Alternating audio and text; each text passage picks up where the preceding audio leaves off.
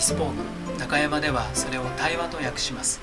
お客様と対話することによってお客様が何を求めているのかどういう場でお召しになるのかそれをまずお聞きすることから一着一着の服を作っていきます。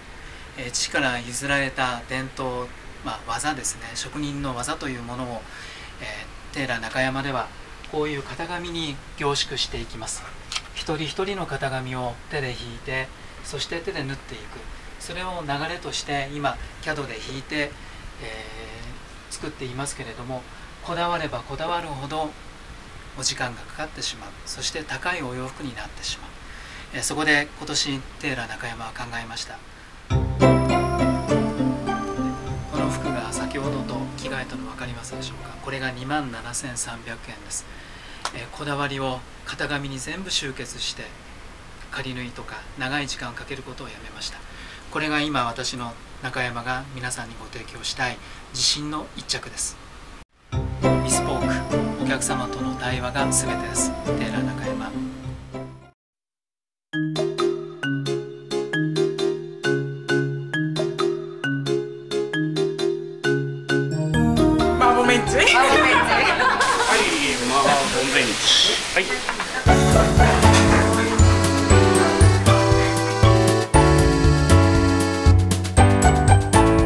手作りと自然の味おふくろお母さんの味っていう感じでこれからもこのパターンでいけるんじゃないかと。それで自分で食べてみてやっぱりあ美味しいなと思うものしか出したくないと思いますね。ずっと手作りでやっていきたいと思いますね。なんで八代食堂っていうお名前なんです？内山さんがやっておられる。始めた人がその八代っていう名字だったんでぐるっとチェーンだったんだよ昔は。16店舗まで行ったのかな。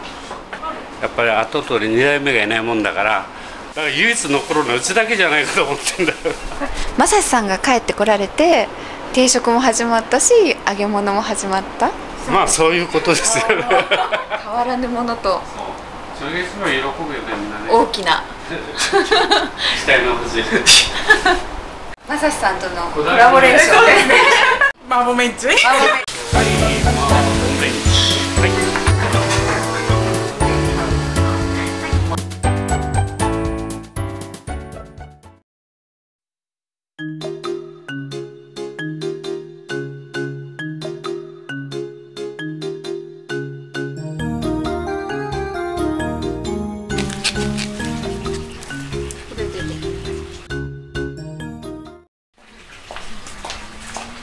さんとお話ししにお客さんいらっしゃるんだよってこの間どこさんがおっしゃってたんですけど。そうなんですよ。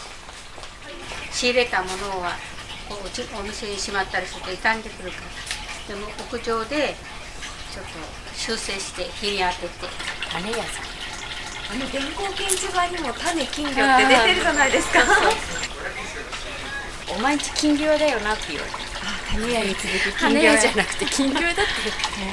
お正月があって節分があってっていうのを行事と同じように桃のお花を売り春のお彼岸のお花を売りそういうカレンダーのようと同じようにして花屋さんが動いてくるので。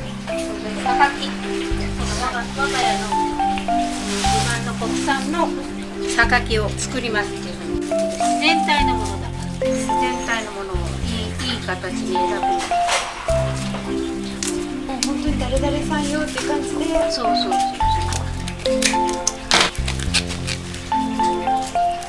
これ出てきてありがとうございます、はい、中国産は農薬剤すごいから嫌がる人いるでしょ？そうですそう。ともこさん的なこだわりってありますか？えないないない。言われるままに。ご指示の通り だからね自分たちでね売れるものをねあれしてほしいんだけど。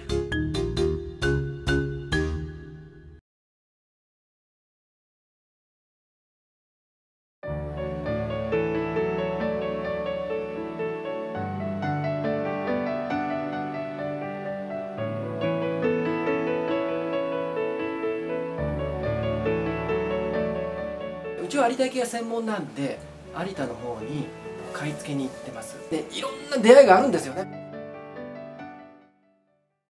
オリジナルの食器とかどちらになりますか、もうここら辺はもう私がオリジナルで指定してこういう形にこういうデザインを施してくださいっていう感じで。画鋲です。はい。これも全部手書きで書いてますので。一個一個違いますね、はい、だから手書きという特徴はやはりいろんな絵を描くことができるあの現地行くと車を借りてもう走り回りますよね。だからもう一日くたびりますよね。それで夜は夜は佐賀牛を食べてそうなんです。佐賀牛 温か泉に浸かって。そうですそうです。東京の下町の職人が一本一本手作りで作っているええ。江戸木橋ですね、食い先の細いことでつまみやすいのと同時にですね柔らかいものあの入門編としてはい。ぜひおすすめするのはこのお手彫りのお箸ですね。なぜおすすめかっていうとお実は一番最初に僕がこの江戸木橋に出会って一番最初に使ったお箸がこれで一番最初に感動しました。お買い上げしますぜひ使ってみてください。感動しますよ。自分